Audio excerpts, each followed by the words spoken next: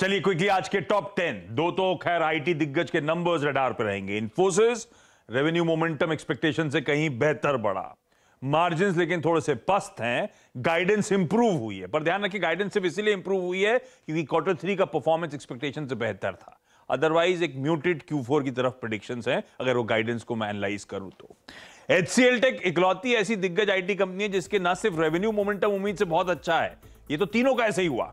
पर दोनों बाकी टीसीएस और एच इंफोसिस के साथ हुआ मार्जिन थके थे।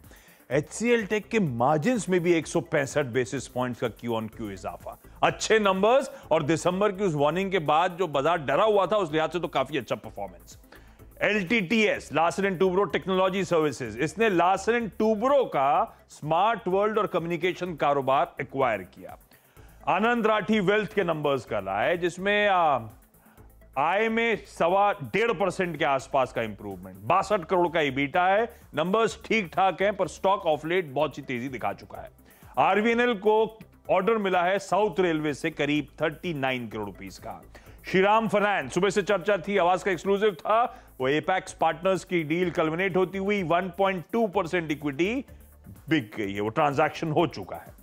ओएनजीसी ऑयल इंडिया क्योंकि क्रूड जो मैं मेंशन कर रहा हूँ इक्विटीज ने डाइजेस्ट करा था 80 डॉलर का क्रूड कल की क्लोजिंग साढ़े तीन बजे। आज ब्रेंड खड़ा है 83 डॉलर्स पे, इसीलिए अपस्ट्रीम कंपनीज़ और क्रूड इंपैक्ट वाली सारी कंपनीज़ रडार पे।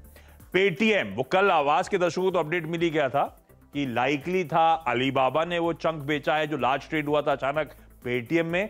कंफर्मेशन आता हुआ अलीबाबा ने यहाँ पे 1.92 करोड़ शेयर्स 536 के भाव पे कल बेचे। टेक महिंद्रा ने माइक्रोसॉफ्ट के साथ नेटवर्क मॉडर्नाइजेशन का करार करा है। और फाइनली रिज़ल्ट के लिहाज से आज एक और इंटरेस्टिंग दिन। विप्रो के आदित्य बिरला मनी के लासन एंड टूब्रो फाइनेंस के नंबर्स आज स्केड्यूल्ड